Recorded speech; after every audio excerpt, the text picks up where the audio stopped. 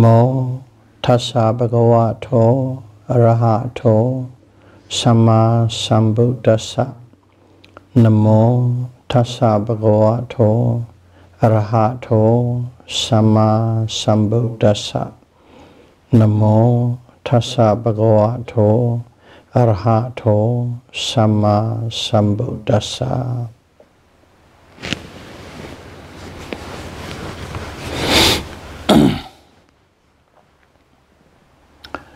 Theravada Buddhism series, Dhamma talk number 56.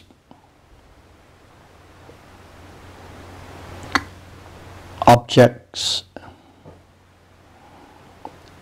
and condition consciousness. Aramana and Citta in Pali. Aramana means objects Means consciousness.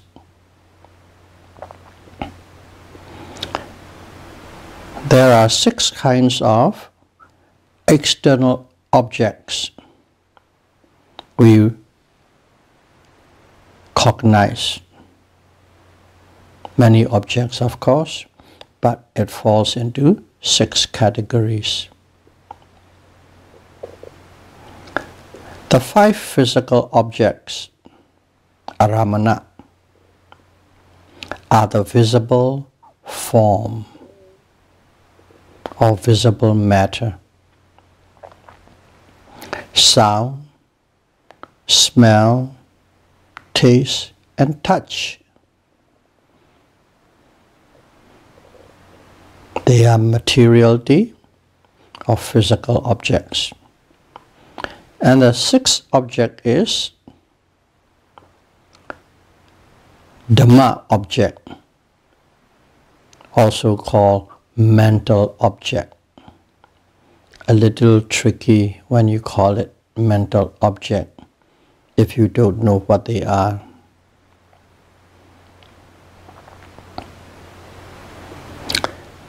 These six objects interact with the six sensitivities which are eye, ear, nose, tongue, body, and mind.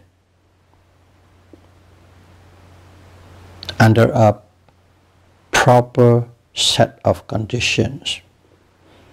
Under the right conditions, these objects and sensitivity, corresponding sensitivity, interact.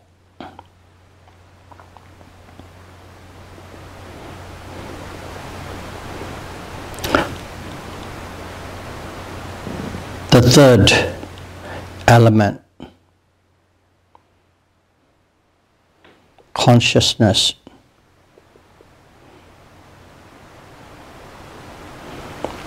Also called Dhamma of the present moment, arises instantaneously upon the meeting of the first two when the object comes in contact with the sensitivity, a consciousness arises.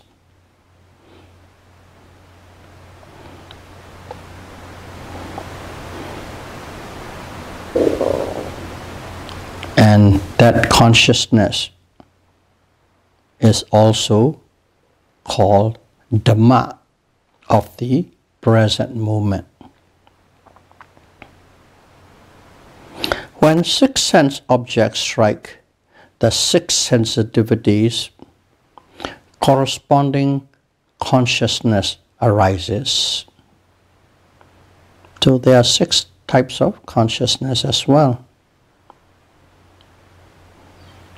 So, from that we know six sense objects are the cause or condition.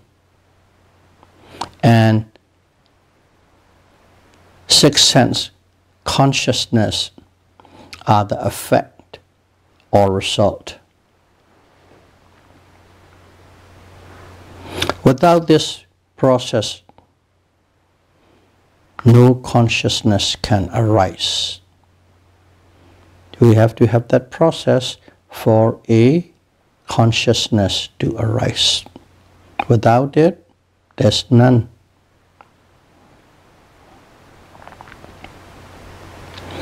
When the visible object, or we can also call it a form, strikes eye sensitivity. Eye sensitivity is the retina in the eyeball. When the visible object strikes the retina, seeing consciousness arises. Only then consciousness arises.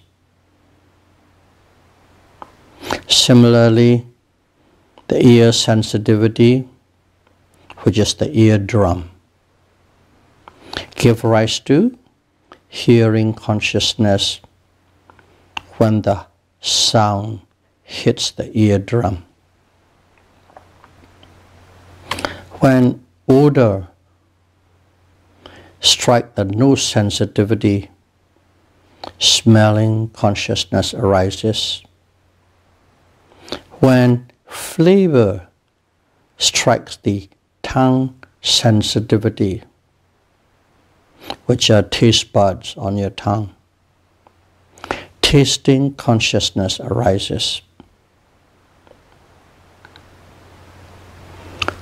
Touch consciousness or touching consciousness occurs when a tangible object strikes the body. The whole body is the body sensitivity except the end of the hair and the end of the fingernails or the toenails. That's why when you cut your nails, you don't say ouch when you get your hair cut, you don't say ouch because there's no sensitivity. Let's call it nerves in the modern language. This touch sensation, touch sensations dwells in the earth, fire and wind element but not in the water element. Because from the Buddhist definition, a matter consists of four elements earth, wind, fire, and water. But for touch sensations to occur, only needs earth, wind, and fire. That is what you can feel hard and soft, hot and cold movement, vibration.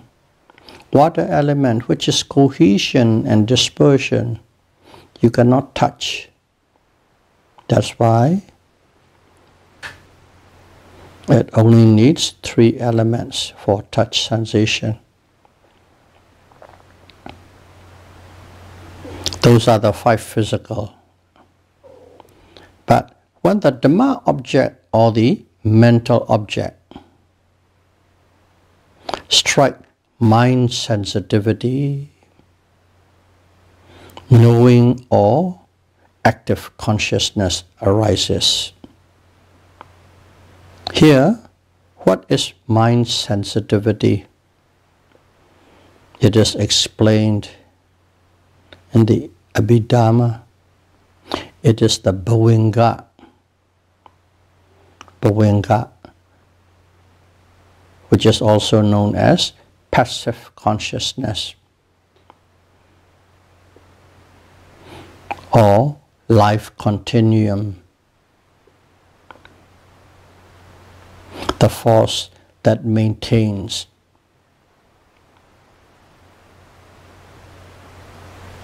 existence. Bhavanga. So Bhavanga is the mind sensitivity, when the Dhamma object, or let's call it a thought,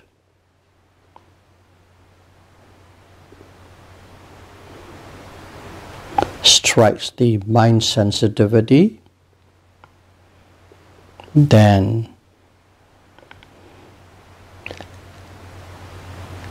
knowing consciousness, active consciousness, or thinking consciousness, whichever one you like, arises. These six consciousness are the Dhamma of the present moment. It's a different way of taking it. You call it consciousness, consciousness. Your mind understand in one way.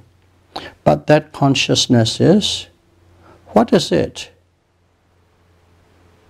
It is the Dhamma of the present moment. That is what is happening at the present moment. So consciousness is also known as Dhamma of the present moment.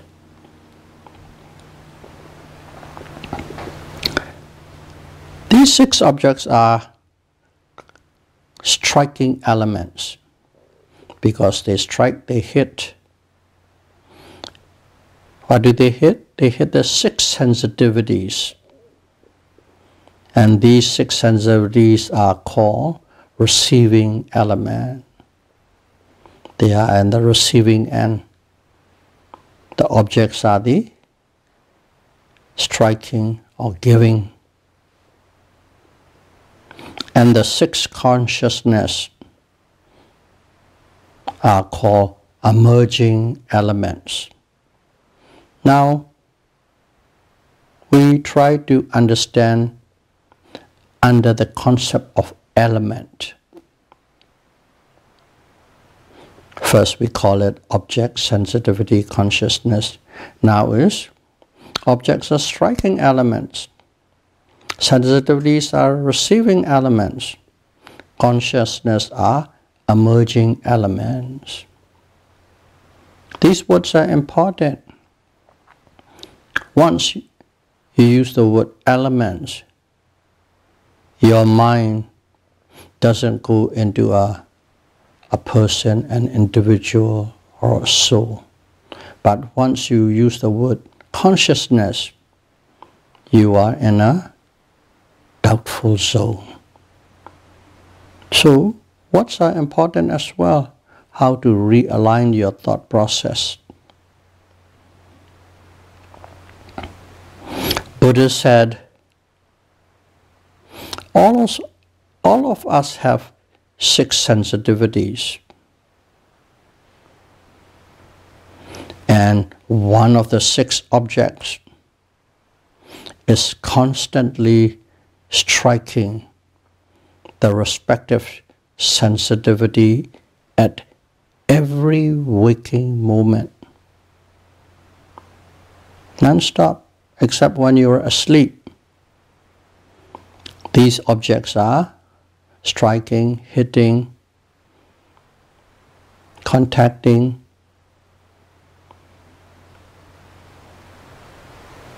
one of the six sensitivities. So it is uh, constantly in operation. Therefore, an active consciousness always arises because whenever there is a contact, conscious on, consciousness arises. And where does it arise? Instead of the passive consciousness, passive, passive consciousness is bhavanga. But when that striking take place, when the contact take place, bhavanga ceased. And in its place, it's replaced by this active consciousness or the sixth sense consciousness. That's how the mind operates.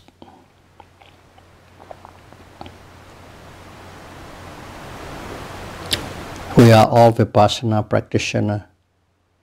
So, right here, observed. You can observe, a yogi can observe, let's call it vipassana observes. The moment when striking and receiving elements come in contact. You observe that moment. Of course, as soon as it's come in contact, what happened? Seeing or hearing or smelling, tasting, touching, or thinking happen. They strike, it happened instantaneously. And what is seeing? And full is, it means seeing consciousness.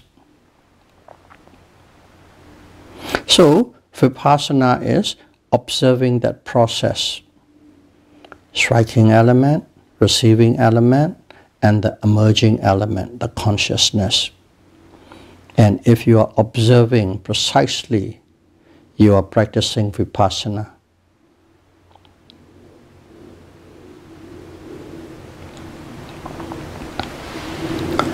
The elders explain the process using a violin so that we can understand clearer.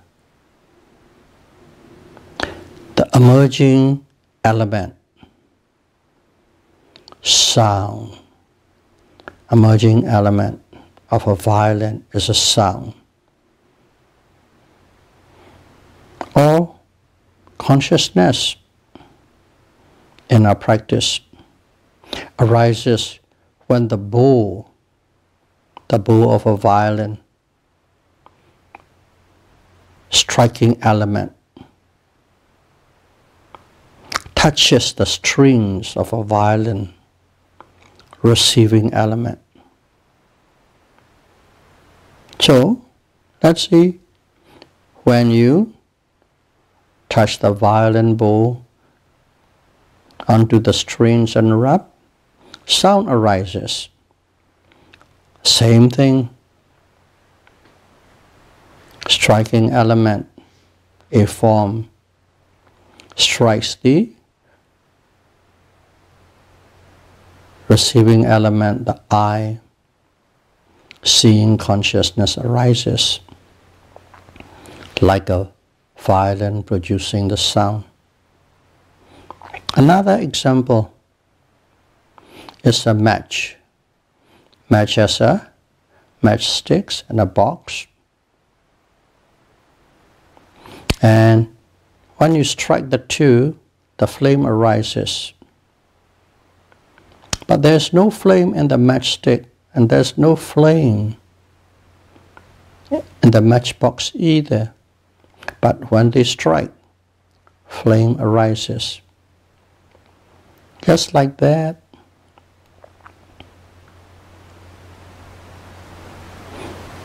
When the sound, striking element, hits the eardrum, receiving element, hearing consciousness arises. But the consciousness is not in the sound, the consciousness is not in the eardrum. But when the two strike, active hearing consciousness arises. Only then that consciousness arises. It replaces the bhavanga, passive consciousness.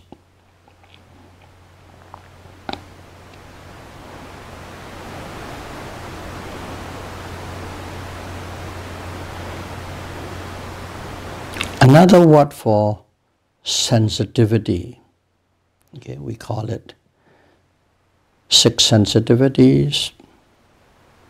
Another word for sensitivity is door, D-O-O-R, door.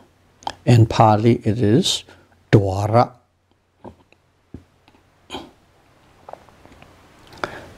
Let's look at the door. A door is a place when a person enters or leaves.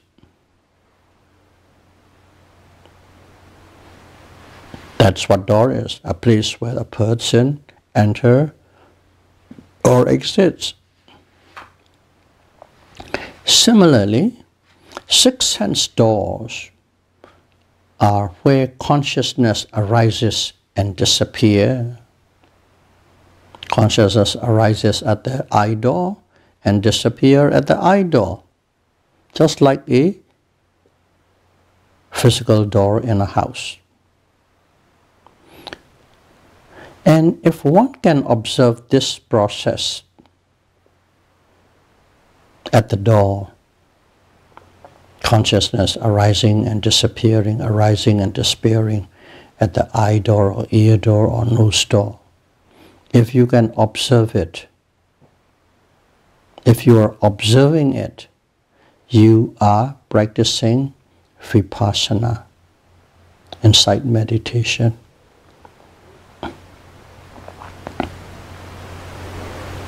We all know there are different levels of insight.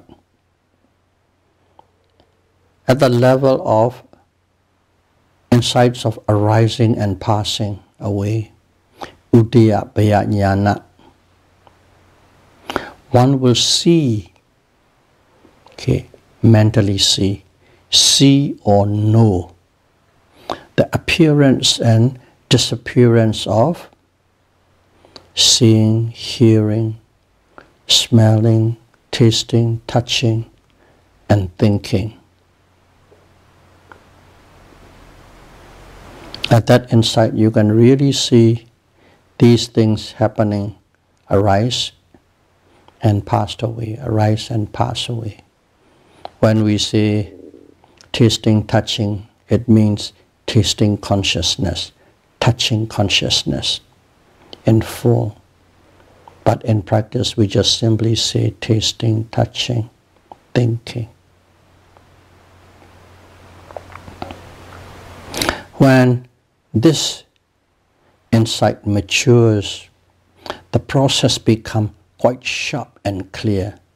Before you know the beginning and the end, appearing and disappearing.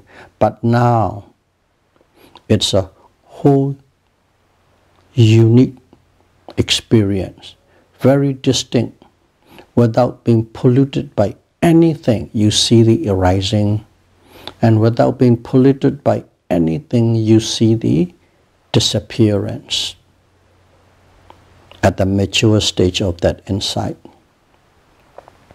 And at the insight of dissolution, the next level, Pinganyana, arising becomes obscure.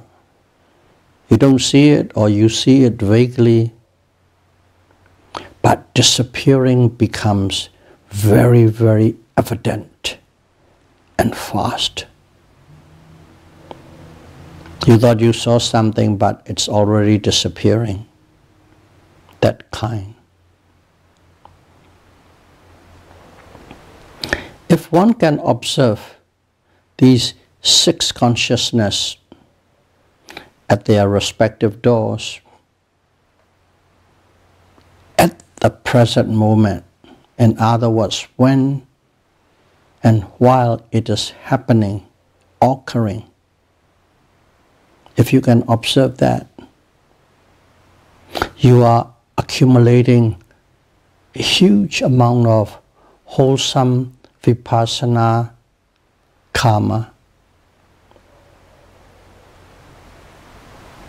Vipassana kusala karma. In other words, wholesome karma produced by vipassana. That's what you are doing. You don't have to think about it. You don't have to try and do about it. You simply observed it. Automatically, this wholesome karma produced by vipassana is accumulating.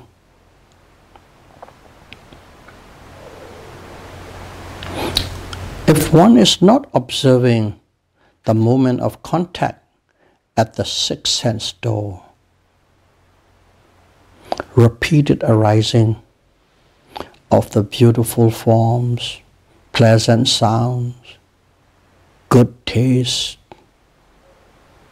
and soft touch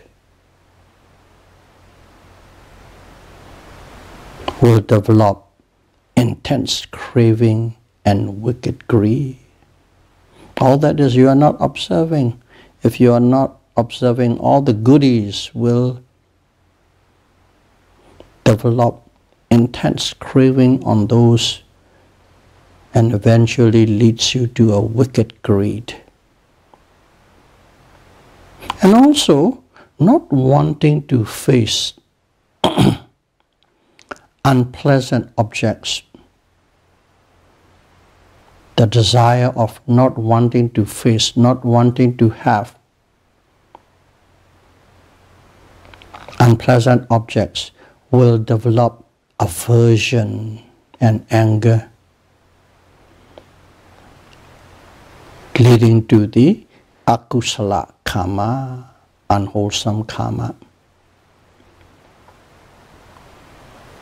So it is just simply the observing or not observing, knowing or not knowing. One leads to the kusala karma and another leads to the akusala karma.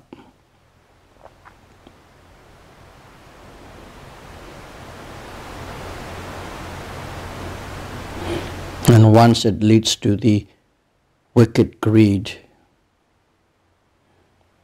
and unwholesome karma, that one has lost their rare opportunity of being born as a human being because only the human have a direct access to practice this, a choice to practice this insight meditation.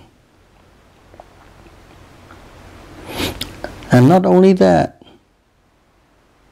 one will be reborn in the inferior existence in the next life. First of all, you lost the opportunity, and then the next one is you are going downhill in the next life.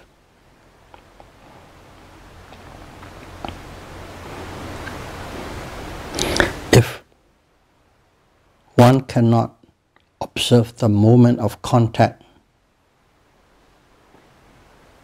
with good and pleasant objects. Reflect. Let's say you can't observe or you don't have opportunity to observe or you are not able to observe the moment of contact for whatever reason.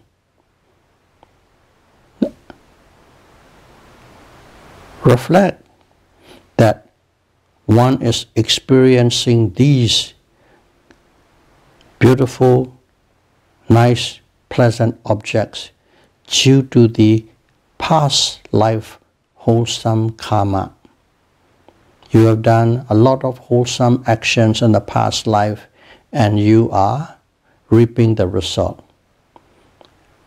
That's the reason you are encountering all these pleasant objects. Reflect that way if you miss observing at the moment of contact. One requires good karma to support the practice of liberation. We are practicing vipassana to liberate ourselves from all form of suffering. And to practice that, to be able to practice with ease and comfort without difficulty, you need good karma that is coming from the past life actions. Similarly, one can reflect that facing unpleasant things and conditions and situations result from unwholesome karma the actions from past lives. And that is an obstacle on the path towards Nibbana. Remembering as such would be able to ease the unpleasant situation without developing reactive evil actions. Give you a little bit of cushion so that you don't fall flat on your face.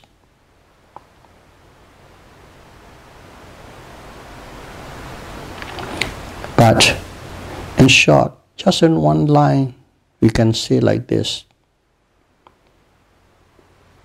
bear right attitudes, carry right attitudes. This right attitude in Pali is Yoniso Manasikara. All of you have heard this.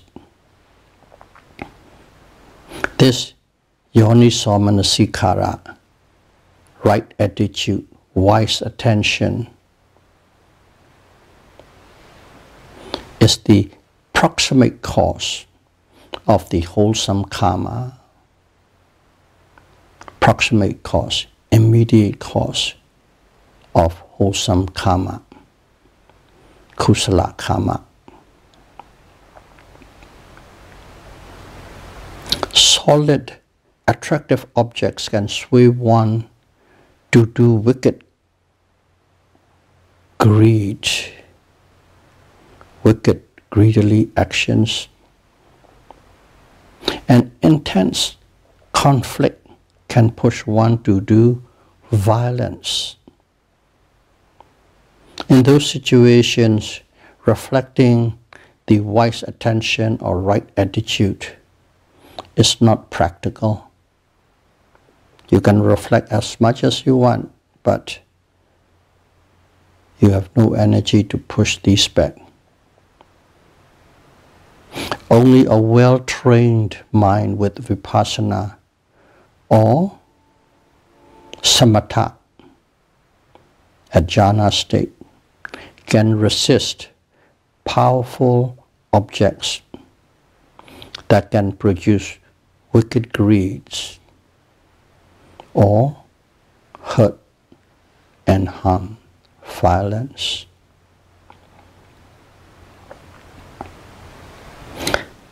Yogis who are tender in concentration and insight, they have another choice, another method, can change the object that gives wicked greed and violence to neutral thing, to a neutral object. For example, is like rising, falling movements, lifting, pushing movement, stretching, bending movements. Direct, redirect the attention to those neutral actions from those strong, powerful objects that swayed you. This diversion technique can temporarily stop the strong desire and powerful anger.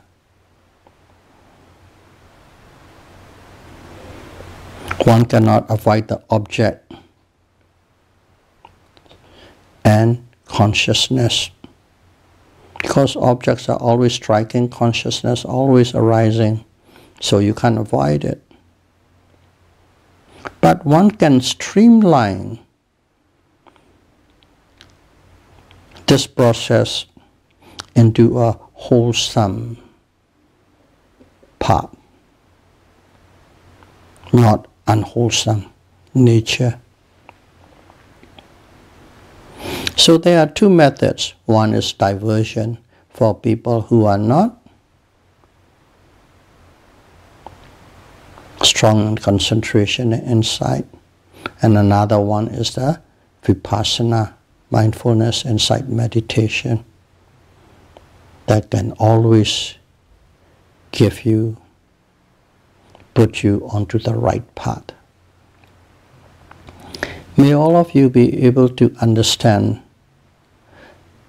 the six objects that are constantly striking your six sense doors that makes six type of consciousness arising at all time.